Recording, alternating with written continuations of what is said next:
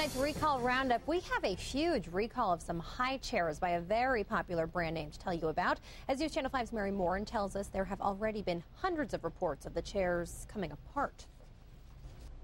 The Consumer Product Safety Commission says more than a million Graco high chairs are on the recall list, and there's been more than 450 reports of screws falling out and plastic brackets cracking on them.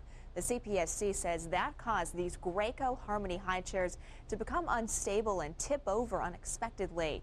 The commission adds these tip overs resulted in two dozen reports of injuries, everything from bumps and bruises to the head to a hairline fracture to the arm and other cuts, bumps, and bruises and scratches to the body. The recall involves all Harmony high chairs. They were made in November of 2003 to December of 2009. They are no longer in production. If you have one of these, stop using it and contact Graco for a free repair kit.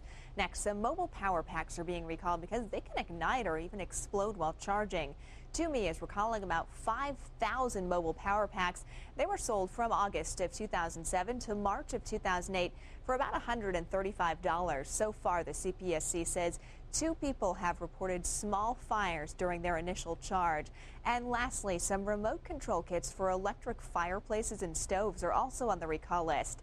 Dimplex North America is recalling 700,000 of the kits. They were sold for about a decade, ending in December of 2008. And the CPSC says the plug-in wall units can overheat, posing a fire and a burn hazard. It says there's been 5,000 reports of the units overheating.